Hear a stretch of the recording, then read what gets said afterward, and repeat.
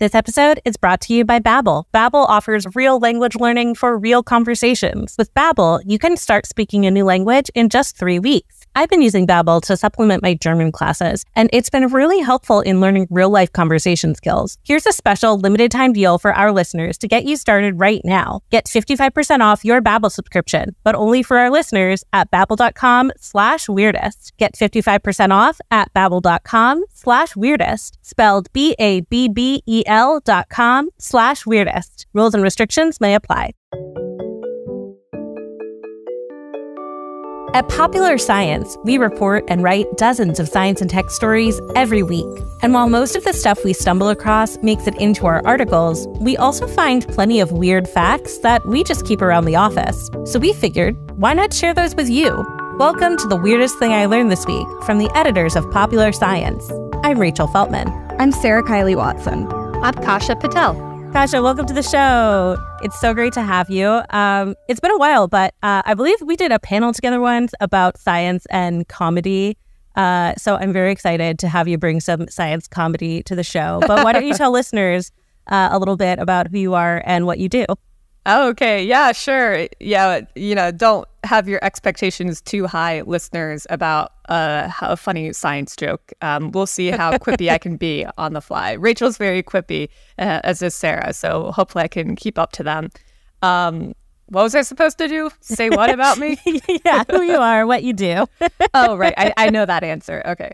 Um, yeah, I'm Kasha Patel. I am a science writer and comedian with the specialization in science jokes, which is not really a thing. So I believe it should be. I also believe it should be, which is why I decided to make it a thing. There are a few of us that do it around the world. Um, I've probably been doing it for about, oh, geez, I made my first science comedy show like 10 years ago, maybe by now, eight to 10 years ago. And um, yeah, it's cool. I, I joke about life as a scientist. I joke about certain scientific studies um, and just like interesting science facts. Um, a couple of the facts uh, on your show, I've tried writing jokes about or like have wrote related jokes about um, when I was listening to the episode. So um, I feel like we're going to vibe pretty well. awesome. So, on the weirdest thing I learned this week, we start by each offering up a little tease about some kind of fact or story that we found in the course of reading, writing, reporting, writing jokes, etc., and decide which one we just absolutely have to hear more about first. Then, once we've all had time to spin our little science yarns, we reconvene and decide what the weirdest thing we learned this week actually was, except not in like a ranked competitive way anymore, because I have officially decided that that is too hard and annoying and everybody wins on this show. And I have not rewritten the intro yet, and maybe I never will. Does this bother you? Let me know in the comments. There are no comments. Unless you're listening on YouTube, in which case, do let me know in the comments. Anyway, Sarah Kiley, what's your tease? Okay, so um, my tease is that one of our oldest human relatives could not only walk upright, but they were also super duper buff. I love that for them. Yeah. Um, I can neither walk upright nor am I super duper buff, but I'm working on both every I was gonna say, good for them. They're, they're, that's. I'm glad you guys have goals. That's fine. uh, Kasha, what's your tease? Um, my tease is that we could be breathing in uh, fungi that could harm us in wildfire smoke. That sounded Whoa. really depressing. That's Yay! such a depressing tease. well, I love a fungal fact. Me uh, too. Wildfire, a little bit of a bummer. Um, you know, we're we're recording this in in June. It's going to air later in the summer when I assume the air will be even worse. Uh, but yeah, after like last week's horrible air quality in the New York area, today it's like moderate. It's like what I would consider a bad air quality day before what happened last week. So I'm like, the air's kind of spicy. I don't, just, I don't like that. Um, but I'm listen. I was already like, we were already a three air purifier household, so oh I'm, wow, I'm, I'm equipped. Um, my fact, uh, very very different. I want to talk about why male mice are terrified of bananas and oh. how scientists accidentally found out. Ah, I feel it. I, I tried writing a joke about this one. I even have like my document and I can pull it up and I never Um, yeah, my joke. I never got a good punchline, so maybe you will help me create a punchline for it. Oh my gosh, I, I was super happy to to help you workshop this. Um, well, I can I can get started with uh with scaredy cat male mice. Please Um, do. do it. yeah, okay. So, a while back, uh, researchers at McGill University were studying pain sensitivity in mice, and they noticed something weird, uh, which is that when pregnant female mice, which were being used for a totally different experiment, were kept close by, the male subjects started acting strangely. A grad student apparently picked up on the fact that they were like aggressive and seemed, you know, sort of anecdata, it seems like their pain thresholds were higher when the pregnant females were in the area. And of course, not only is this like a weird quirk, you know, would love to know more, uh, but it was also potentially messing up the study's results because, again, they were studying pain thresholds, pain sensitivity in mice. So, this notion that this grad student got that female pregnant mice were making them uh, less susceptible to pain, they were like, uh, what if that's skewing all of our data? And further, you know, what if other previously published studies were inadvertently skewed because people just didn't realize that keeping pregnant mice around did something? So they decided to start a new experiment to investigate further. And I love that because it's just such a like, it's both curiosity driven and like a weird kind of um, accidental curiosity journey, but also just like this very concrete, like how science works and like what's often wrong about how we do science. So I find this very satisfying, even as just like a lead in. Um, so then they tried like the usual number of variations uh, of like trying to figure out exactly what it is about female mice plus young male mouse plus pregnancy trauma. Uh, so they were like, what's going on? So they'd like introduce the male mice to a mouse who had just had pups but didn't have them with her, like a mouse really early in gestation, a mouse who was still lactating, a guy mouse, etc. And ultimately, they zeroed in on the fact that soiled bedding from a pregnant female was enough to give males the superhuman or super mouse, if you will, pain tolerance. And a look at their hormonal levels also showed that they were experiencing a spike in stress hormones. So that meant it was time to investigate some urine because that's what was soiling the bedding. um, they eventually isolated the chemical N-pentyl acetate uh, as the signal that the males were reacting to. And totally coincidentally, N-pentyl acetate is what gives bananas their signature odor. Um, Yeah. and so the researchers were like, great, we have a way to see whether this chemical, you know, in isolation of other mousy things has this effect.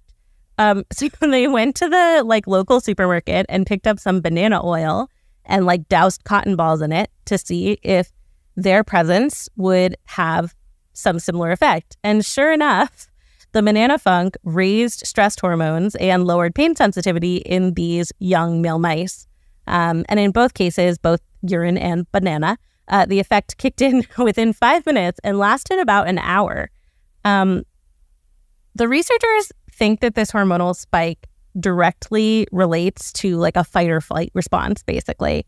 Uh, you know, the same way that like when we're uh, exposed to something scary or surprising, you know, our, our cortisol levels go, go up, we have adrenaline, and it's like whatever you end up doing with that, whether it makes you aggressive or just like panicky, your your body is like activated for something, you know, um, and it's stressful. And so you might be wondering why would pregnant mice and as a result also bananas have such an effect on young, healthy, virile males, you know? Uh, and the answer is that it's because pregnant mice, generally speaking, can and will kick the absolute shit out of a young male mouse. Like they will just absolutely f- them up. I mean, uh, you got to do what you got to do to survive in this world. Exactly. Sarah Kiley, you are right on the money. They are just doing what they have to do to survive. Good for her, etc. Uh, so yeah, male mice, especially virgins, which you know this is not unique to this study, but uh, researchers will refer to virgin animals as being sexually naive, which I always love because it kind of sounds like a diss. Um, have a tendency to try to kill babies. Um, rodents in general are like more open to infanticide than we would like. Uh, anyone who had a friend with like a traumatic guinea pig litter experience knows this. Uh, females of many species will like chow down on their children if something makes them smell unfamiliar. Uh, so again, if you have pet rodents, like don't handle the newborns. Like just just let her do her thing. You don't want to you don't want to mess with that. You you might make her think that that's food, and then everybody's gonna have a really bad day. Um, or even if they just like have too many babies at once, because like resource management is important. It's an important part of running a family, you know. Um, meanwhile, males of many rodent species will go after pups that aren't theirs because basically it's a free snack and the behavior stays in the gene pool because like the snackers are more likely to like have successful offspring out in the world than guys who mind their own business. Um, and there have been some studies that suggest that introducing the smell of an unfamiliar male is enough to make certain rodent mamas like stop caring for their pups because the, and the idea that researchers get at with this, I, I'm not sure how much of this is like projection, but the idea is that like they assume some dude is going to come eat them, so they don't want to waste the energy in the meantime. Um, that being said, not all rodents, or even like every member of a species that sometimes does this, is this way. Um, there's research on the Chilean degu, which is this adorable rodent that nests in like big social groups. They're just all friends. Um, and they do not put babies on the menu. And the research on them suggests that there are genes that like make a species more or less likely to uh, go the infanticide route. Um, some researchers have suggested that communal nesting may have actually evolved as like an alternative to mating with multiple mates. Um, because mating with multiple mates uh, has its own evolutionary costs. You know, males harass females, uh, they might transmit disease, etc. But meeting with multiple mates is a great strategy for avoiding uh, this male aggression because you create paternity confusion, which is a great name, I think, for like a band. Um, so, paternity confusion, great evolutionary tactic. And communal nesting may have evolved as uh, one way to make that happen. Basically, everybody sleeps in a, a big old cuddle pile. And so, whose babies are whose doesn't matter. They're all just the babies. Um, I love it. which actually reminds me of something that I wrote about in my book, Been There, Done That, A Rousing History of Sex, uh, that I have not talked about on Weirdest Thing before, but um, was one of my favorite things to research for the book, which is the idea of uh, partible paternity, which is uh, a belief that persists in some groups today that re- multiple males are required to make a child. Uh, the details vary slightly uh, between different groups. Sometimes it's like there's a belief that, like, literally you need sperm from more than one uh, guide to make a good baby. And sometimes it's more like there's just sort of like a some ineffable je ne sais quoi that happens with during sex that is like important and that like it's important for a baby to have some like secondary fathers. Um, but in those groups, it is like very clearly this um, awesome human evolutionary strategy where just instead of doing that sort of mate and offspring competition, you just decide we're not going to do that. That like everyone is operating under the assumption that like these kids might be part theirs. And so like resources are shared.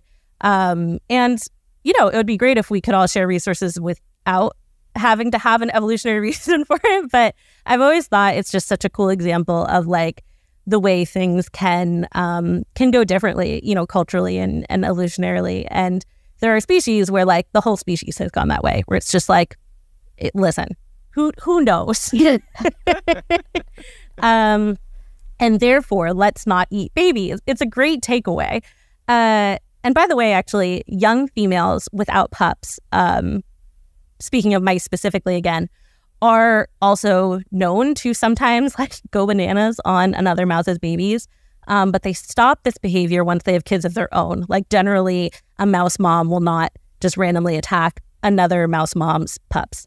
Um, and researchers have found that there's like a whole region of the brain that quiets down after a mouse gives birth. and that chemically blocking that region can um, quiet a young lady's bloodlust. Oh, um, okay. While stimulating it can send any mouse on a baby eating rampage. So brains are wild. Um, Jeez, I like I I think the part about the pater- the communal paternity is quite heartwarming, right? Because Yeah. especially when you compare it to humans, like you have things like Maury, where it's literally just trying to figure out who the father is, like child. Like I don't know. I I think it'd be very interesting to just live. I mean, I guess they have communities like that where, like, you know, everyone is just like for everybody, right? Where it's just Yeah. like you go in there. Mama and- mia. yeah, it's true. Basically, if if you don't understand the concept of partible paternity, Mamma Mia is a great example. I would rather have one third of a daughter. Yeah, it's So, sweet. Everybody's have three happy. dads. yeah. Um, and yeah, so with mice specifically, studies have shown that there's this gene called TRPC2, very uh, catchy. Um, and it's a big factor in determining whether a mouse is like a parent of the year or or just like a decent babysitter, um, or an infanticidal maniac. uh, The three Females- choices. yeah, yeah. So when you turn off the TRPC2 gene in a female, they will start to act like males. I didn't find a reference to them eating babies. I don't know if that's something they studied. Um, this was like they put them in with other adults, but they ran around trying to mount all the other mice. Um, so definitely uh, some specific behaviors were were happening. Um, and then when scientists engineered a male mouse with an activated TRPC2 gene, he reacted to the introduction of strange pups not by attacking them, but by building a nest and gently placing the foundlings inside. He went he went Mandalorian. And uh, again, that is just like there's a protein that this gene encodes for, and it seems to be crucial in allowing animals to sense pheromones, which of course are um, chemical signals that enact some kind of response in the the animal that senses them. Um, but still, it's it's so wild to me that like one one protein can just like radically alter behavior that way. Um, this brings us back around finally to the banana business. Um, basically, the researchers concluded that what was happening is that nursing mothers uh, in their pee were giving off this chemical signal that was like, don't mess with my pups or I will f- you up. and that males have evolved to actually listen to that um, or at least get ready for the fight of their lives. Like, either way, they have this surge of um, stress hormones. They suddenly become less susceptible to pain. They're ready for, for a mama to come uh, absolutely wail on them. Um, so obviously this finding is like kind of weird and funny, uh, but it's also important, uh, just like the researchers in this study initially. Many scientists studying animal behavior in the lab may be inadvertently introducing variables that mess up their data. And the researchers actually pointed out something specific about this that, again, gets into like some deeper issues in science, um, which is that female pheromones in particular have been like very poorly studied. Um, there's been a lot more research on the chemical signals that male animals produce, basically across species, um, because there is this known bias in lab animals to study males. For a long time, this had to do with like, oh, the hormonal cycles of uh, female animals, including humans, in drug trials mess. Or it's too big of a variable. So like, why introduce it? Um, but like, it's it's all back to this like real uh, strange misapprehension of the male body being the default, that being normal, and then you know anything else being a, a complication. So they're basically like, listen, like people have not really studied the chemical signals that female mice or most other female animals give off, and we're really missing stuff because of that. Um, and also, who knows?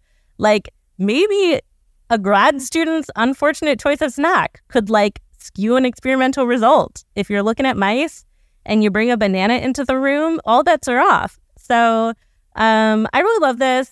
Uh, that's all I have to say about it. But Uh, what a what a delight. That's my take. I think we talked about bananas on Reason quite a bit. I, Claire once talked about the first, uh, the introduction of the banana to um, like U.S. audiences at the World Fair, where it was sold for quite a lot of money. I think it was the equivalent of like twenty dollars. Oh my gosh! And came wrapped in a foil packet, which is so funny because bananas literally have their own package, Packet. but they unwrapped it, wrapped it in foil, and then gave people a fork and a knife.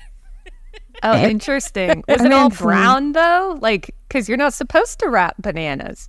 Yeah, that's a great question. I guess I guess they like peeled them right on site and then were like, here it is. I've wrapped it for you like a hot dog because that's the only food that Americans know how to consume at the World's Fair. But eat it with the fork and knife, please. Exactly. Yeah. yeah. Um, all right, we're gonna take a quick break, but then we'll be back with some more facts.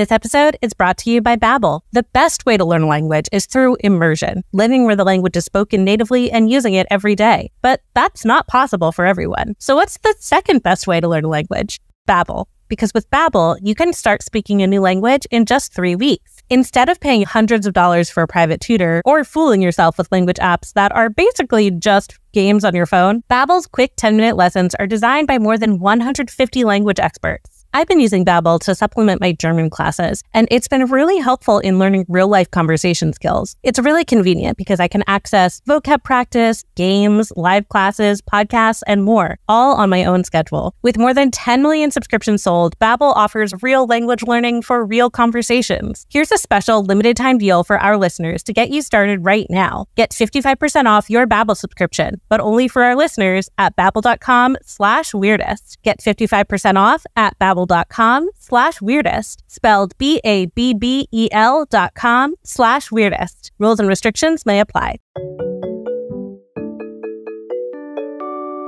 Okay, we're back. And uh, Sarah Kiley, now that we've talked about uh, mouse infanticide, uh, please tell me about our buff ancient ancestors. Please. We we love some ancient ancestors.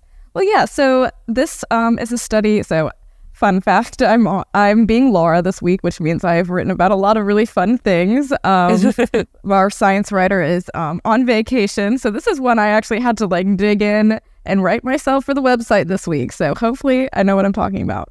But basically, um, there's like a couple of things that we think about as like making humans human. Um, and one of those is walking upright. So beyond just walking um, bipedally, like with our feet, um, there's like something about like actually like standing up. And I'll get into it. Um, but I wanted to start um, by talking a little bit about, um, you know, just a couple million years of evolution of human evolution. So I'm going to run through real quick. Bear with me, um, and then I will tell you a little bit more about our buff ancestor and why we're even talking about them at all. But yeah, so humans and our lineage split from chimpanzees, which are, yeah, our closest living relative today, about 7 millions ago. But like primates were evolving for 55 million years before that. So well, there's a lot more that I'm not covering in today's class. Um, but um, we don't really know what the split between chimps and humans like exactly look like. But around six million years ago, there was a bit of evidence that one of the earliest hominins, which is called the Sahelanthropus, was walking around on two feet, which is a big deal bipedally. so fast forward a few million years, we're starting to see um, the Australopithecus. P- Australo- Australopithecus. Australopithecus, and I looked this one up earlier because I always mess up saying things. Um, so that genus started showing up, um, and that evidence was pointing to again the ability of standing on two feet. And this species was starting to look more like a human than um, like an ape. Uh, so they're kind of like human slash ape versus like the earlier ones were like, okay, this is quite ape looking. Um, and then fast forward again, two or three million years, and we've got tools being made. And this is like also around the middle of when Australopithecus um, reign was like going on. Um, so they had a bigger brain than their predecessors. So we're starting to see brains get big. We love that. Um, by around 1.89 million years ago, the Homo erectus was walking around um, and was considered, as the Smithsonian says, to possess uh, quote unquote modern human like body proportions with long legs and short arms compared to the size of the torso, as well as an expanded brain case. Um, which is a big deal because, I mean, if you have short arms and long legs, it really just doesn't make sense to do anything except walk around bipedally. Um, I mean, I haven't walked around on all fours in a while, uh, but it's just not comfortable. Yeah, The we're not well suited to it. It just doesn't feel quite right. Um, but yep, so those guys lived on Earth um, about nine times as long as Homo sapiens have, just which I think is very cool. Wow. So they- Humbling. humbling. Yeah, this is a whole. This is a Homo sapien humbling piece today. Um, and about eight hundred thousand years ago, things start to speed up. Um, during again the Homo erectus's reign, um, these cousins of ours were like figuring out how to use like fire. And then um, a little bit later, brain sizes like exploded, and you get a bunch more Homo genus cousins, Neanderthals, Homo naledi, yada yada yada. Homo sapiens, aka us, didn't even come on the scene until um, 300,000 years ago, and we figured out farming 12,000 ish years ago, and here we are now talking on a podcast. Um, so that's it. That's that's all that happened. I love it. Yeah, Complete history. summary. so that's it. That's human history. And all that being said, we've got this long, complicated evolutionary history behind us. It's kind of confusing to think about like what it means to be human. Like how different are we from these other like humans that were wandering around like a couple hundred thousand years ago, or even like millions of years ago, and you know what what really is different. Um, so now I'm going to dive into the newer part of the factoid, which actually starts still in the past. So um, I don't. I'm sure we've talked about Lucy on here before. Um, Lucy is uh, the OG, one of the OG like original old humans that was found um, in November of 1974. Um, so uh, there were a couple of paleontologists like scoot, scooting around and looking at things in Ethiopia. They'd taken a Land Rover, according to um, Arizona State University, and they were like going to map out somewhere. And after a long, hot morning of mapping and surveying for fossils, they headed back to the vehicle. And one of them was like, let's go do a little something different, go through a different gully. And within seconds or moments, he had spotted like a forearm bo- bone and was like, oh, Wow. shoot, uh, this is a hominid. And so he saw the skull bone, a femur, some ribs, pelvis, lower jaw. Two weeks, two weeks later, after many hours of excavation, screening, and sorting, several hundred fragments of bone had been recovered, representing 40% of a si- single hominid skeleton. Lucy, who is um, an Australopithecus afarensis, afarensis, because it's about a place in Ethiopia. Very exciting. Um, and so Yep, we've got this like awesome skeleton. Basically, a skeleton is 40% of a single hominid, which is still a pretty big deal considering it's 1970s. We're not really sure what was going on.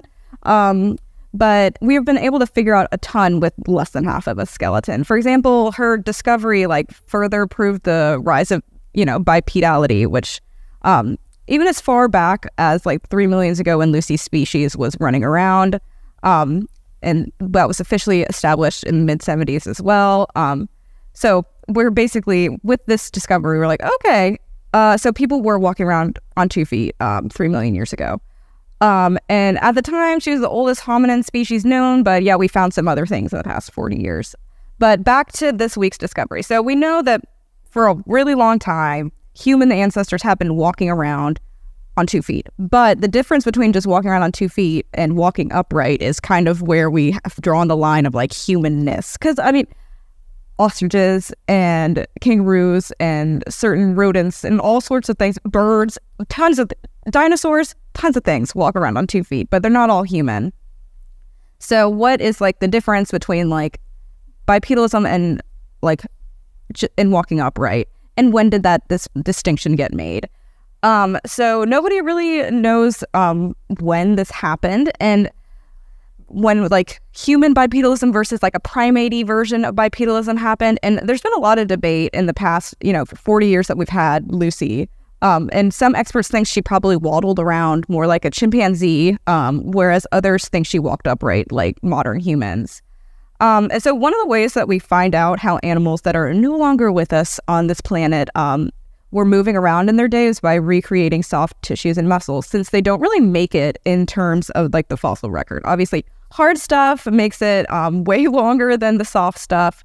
Um, and that comes in pretty much every single case that you can think of. Like, even, yeah, like obviously we have had some lucky chances of getting a couple pieces of soft tissue and muscle, muscle, but it is rare, especially when it's from three million years ago. Um, but yeah, so there are is a way that scientists have found um, a way to like 3D model m- muscles. And we've done this before. The like one noted example of this is how we learned that T-Rexes couldn't run very fast. so basically like I mean, you think about T Rexes and you're just terrified. And you're like, oh my gosh. And you see a skeleton, you're like, oh goodness, like that thing would definitely eat me up. But I oh think goodness, indeed. oh Yeah. goodness indeed but by recreating muscles we can actually see like how that skeleton actually moved it throughout space like and so yeah t-rexes don't run very fast which is you know i don't know if that's been on weirdest thing before but whoever's listening that's that's your next one if you want They're it trash. No, but Every There's time I hear T Rex, I always think of that cartoon movie scene where the T Rex is like, I have a big head but small arms. Yeah. I don't think we thought this out all the way. we love evolution why is she so weird why does she do this over and over again i don't know. But um but yeah we hadn't done the t-rex method on um, a hominid.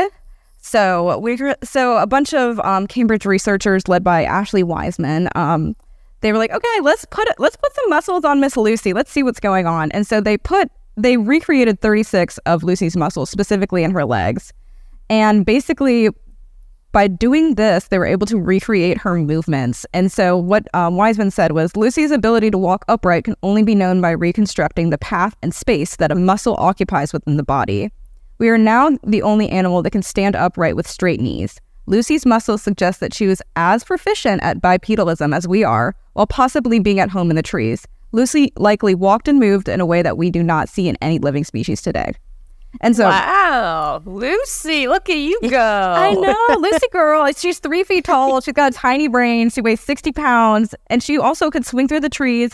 And she could also walk around the savannah like a modern human. So this is a big deal because we aren't so sure like where bipedalism came along in like terms of like brain size, in terms of like species, in terms of genus. You know, this is before Homo was happening. So it's a pretty big deal.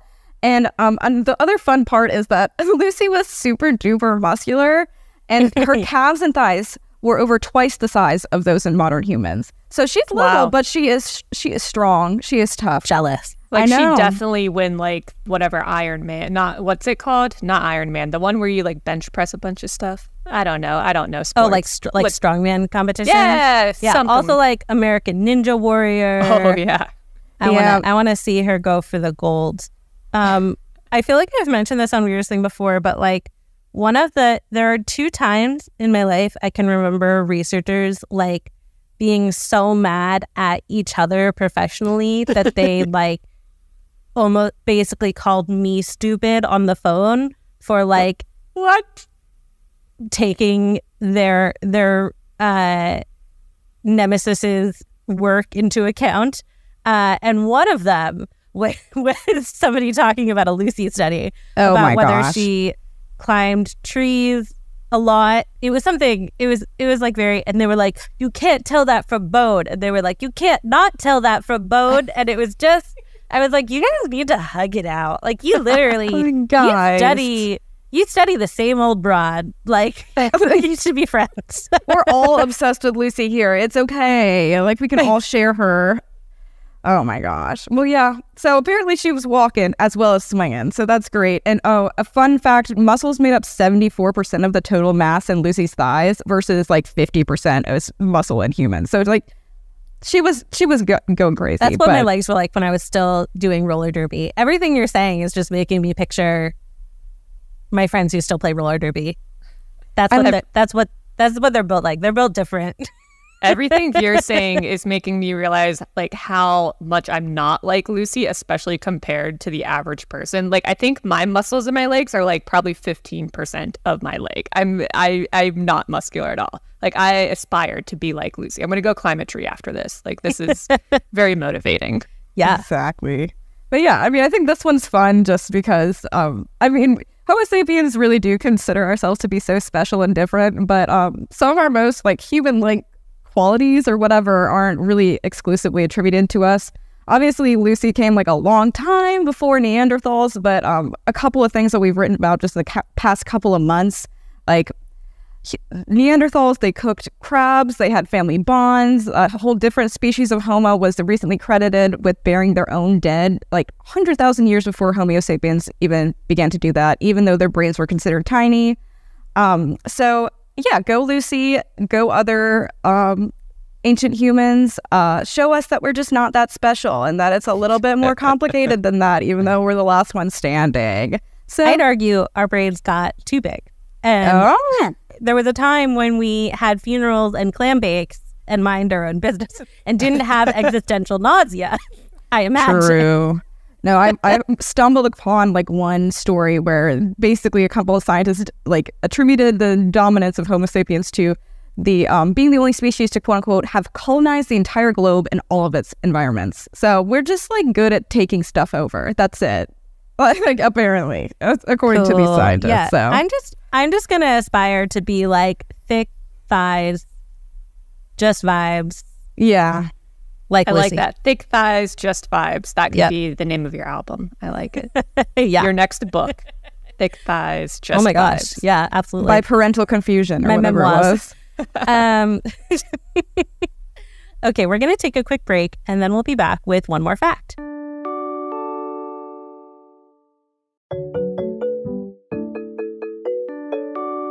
Okay, we're back and tell us some some fungi facts. Yeah. Well, I'm very lucky because I didn't realize that you are somewhat of a fungi expert as well, because you said you studied it in college. Isn't that right? I did. I did some mycology in undergrad and I really loved it. I'm very like out of um out of the loop on like super recent mycology research, but I always say if I had gotten a PhD in something it would have been that. So I always I love talking about the mushrooms. Ooh, so Mushrooms. the way that I feel about it, when you were learning these fungi facts, were you just like freaking out at everything you learned? Because that's what I feel like my life has been for the past few months. Every time I learned a new fungi fact, I'm like, how did I not know this? It definitely is. Like I took mycology just as like to I went to a very small liberal arts school and I was doing environmental science. So it's like there were only so many sort of like 200 level science courses without a prerequisite. And I took mycology. And then like every day it blew my dang mind. Yeah. Like- yeah, they're wild. And it's like, why don't we why don't people talk about this more? They're they're like way more interesting than most things I learned about in like high school bio. Yes, I would agree with that. Sarah, do you know how? What's your fungi um, knowledge like? Uh, limited, I would say, but I mean, I definitely have found Perfect. Some fungi in my um, shower before, but that's about some home experiments. Unfortunately, that's probably it. Perfect. Yeah. So basically, I came across this because we've been having some pretty, I mean, there are record uh, wildfires up in Ca- uh, Canada. And you guys might remember that the smoke has come over to the East Coast. It's like sort created record air pollution days. It's some of the worst, um, you know, for some cities on record or in decades. And I was tasked to write a story saying what exactly is in our wildfire smoke. And I think we all kind of know the most harmful component for humans is particulate matter, specifically something called PM 2.5. 2.5 talks about um, how small it is 2.5 uh, microns. Um, it's smaller than like the strand of uh, the thickness of a strand of hair. So basically, just means you can go inside your body and go inside your lungs, and it causes a lot of respiratory issues. And you know that can actually send people to the hospital and cause death. Um, there are other things that are involved in that, though. They're like there are things called um, HAPs, hazardous air pollutants, which is pretty obvious. I don't know why you had to uh, make an acronym for that. uh, but those are things like formaldehyde and benzene. It's these kind of other things that happen because maybe the um, tree that you're burning or whatever material you're burning didn't fully combust. So if it fully combusts, that means you're going to get kind of like a clean product, which is like carbon dioxide and water vapor. Here, if it doesn't fully combust, you're going to get all these other toxic things. So those are interesting because those are actually being created from the process of burning. I also learned, a researcher told me that sometimes wildfire smoke can also spread stuff in the soil, like bacteria, fungi. And he even mentioned arsenic, which I was Yeah. like, wait a second, what? Um, and it's been in recent years, it's been something that has been appearing more with hospitalizations, and there's been more research into it. And now I'm not trying to fearmonger, say, like, you know, when you see wildfire smoke, like you might catch like a fungus infection because, you know, there's so many other things in there that are more worrying. Um, and we also don't necessarily know how far it can spread. But this little nugget just kind of piled on to all the crazy things that I've been learning about fungi in the past few months, all thanks to HBO's The Last of Us. Um, have you guys? Did you guys watch that show? Oh yeah. I did. And in that um in that like opening scene where they're like Oh, talking yeah. to academics and he's like the next outbreak is going to be fungal and I'm like this is a real conversation people have so many people are going to google this now and learn so much about fungus but also be so scared. yeah. and you're describing me. And that is 100% correct. so, um, yeah, everyone was talking about, like, oh, could this actually happen? And I had to write an article about how likely is a fungus um, pandemic, uh, because, like you'd see in Last of Us. And in that search, I found a lot of very interesting things. Like, for one thing, in that opening scene, they talk about the climate adapt- adaptability for fungus. And they're like, well, you know, for the most part, fungus uh, can only affect people who are already like immunocompromised or sick, or i the probability that they'll infect a perfectly healthy individual is very difficult uh, for two main reasons. One, the person's immune system will be able to fight it off. And two, uh, they can't withstand really high temperatures like it would be in our body. Um, and I talked to one researcher that I thought this was interesting. He actually has this theory that maybe one of the reasons the dinosaurs uh, met their fate was because of a fungus uh, pandemic or epidemic there locally. And he's saying that the cool conditions that happened allowed the proliferation of all this fungus, and then it could actually infect the cold blooded reptiles. And that's what Oh. killed them. Right. Um, so, you know, it's a theory. We have a lot of theories about how the dinosaurs died. Um, but basically, it's actually not that far fetched to think that this fungus can adapt to higher temperatures. And we actually have cases like that now. There's a particular fungus called Candida auris, which is um, creating a lot. It's it's it's creating a lot of issues in hospitals now. Um, during pandemic, it also caused a lot of issues with people who were hospitalized with COVID because they had um, uh, compromised immune systems.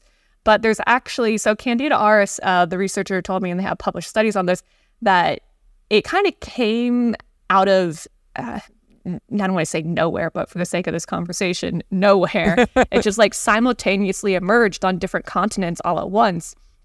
And they found that it actually was, it had a higher heat tolerance than other fungus. And there's been Ah. other studies that have come out during the show. And since I wrote that, my last article, uh, showing lab experiments that fungus can adapt over generations um, to higher fungus.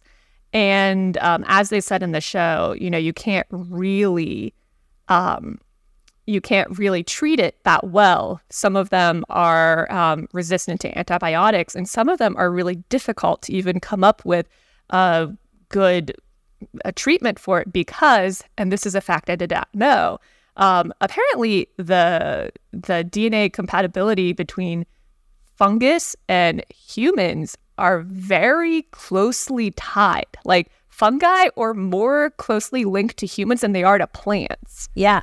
Oh. Yeah. And they're um they produce chitin like beetles. Like they're very um it's they're very much like uh you know, we lump them in with plants cuz they like grow and we can eat some of them. But they are very much not. They are a different thing. yeah. Yeah. So basically, the reason that it's difficult to create a treatment for them is because if you create a medicine that can attack a fungal infection in humans, it might also attack the human. So it can be toxic to them as well. So it's just kind of like the the medicine can't differentiate between this came from a fungus this is like uh, innate to the human. So it just kind of kills everything like you know like um like radiation and cancer would. Um so that's been a big issue. And like rachel said before like a lot of researchers have known this is a problem but there's just not enough resources or funding to look into this. Um so that's kind of like the scary part of fungus that i was not aware of and the other part is, um, particularly in, let's say, wildfire smoke. Um, now, when you think about, like, okay, how on earth would wildfire smoke move like mushrooms? Obviously, it's not moving like mushrooms, but there are certain fungi that are found in the soil. And one of those is valley fever, which I think has been becoming increasingly popular in the news. It's on the West Coast, like Arizona, parts of California. And this is actually found in soils. So it's not surprising that, um, you know, wildfire smoke can kind of kick up the soil. Uh, but it's what's in that soil. And valley fever has been spread within dust storms. Like in Arizona, people kind of know that, oh, there's a dust storm. If I'm downwind, they will feel the effects of valley fever. And what that does, it just creates a lot of like um, respiratory issues, coughing. Um, I mean, it's can be treated. I think you should fact check that. Um, but it just causes a lot of like coughing and respiratory issues. Um, but now with wildfire smoke and what lab studies have shown is that it's actually valley fever is the one that can actually spread, get kicked up by the smoke um, and spread. Now, people don't actually know how far something like this could go, but like, you know, wildfire smoke, as we already evidenced uh, recently, it goes from Canada to the East Coast. So, I mean, it can go. It was very, in North very... Carolina when I was home. North Carolina. Oh, yeah. I uh-uh. I'm not a I fan. mean, like during wildfire season, wildfires from Russia can like come over to across the Atlantic and come to the U.S. So, I mean, it can go really far. But now, under what um, concentrations that is, is going to be you know variable. Um, but in terms of exactly how that can be packaged, um, you know, researchers say they're not, they're, they don't actually quite know. But one idea is that they know there's certain evidence that shows that this fungi and some of the bacteria can withstand um, the high heat uh, in certain aspects. But even if they, and in some cases, they might not even need to um, it could actually be protected in small clusters of particulate matter. So it might not even be exposed to the fire. So it just might not be a point for them. Um, the studies that I have seen, like I said, there's a couple of studies, one in Lancet that was actually published um, of March this year. They actually looked at this valley fever and they found that months after there was wildfire smoke. They saw hospital admissions for this Mm. increase. Um, like about increased by about 20% in hospitals in the month following any smoke exposure, um, which to me is pretty crazy because it's just so long lasting.